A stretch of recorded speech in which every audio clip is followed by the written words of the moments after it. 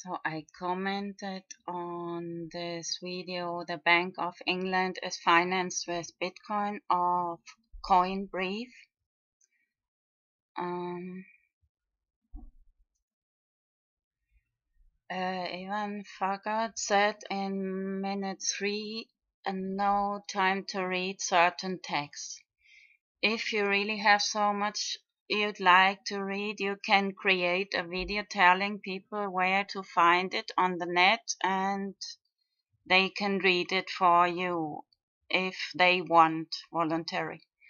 And they can record it and create videos.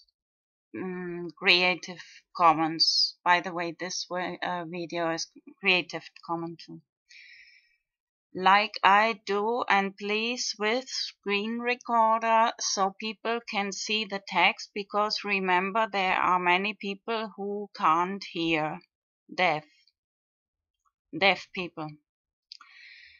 If you like liberty freedom of expression innovation please use creative commons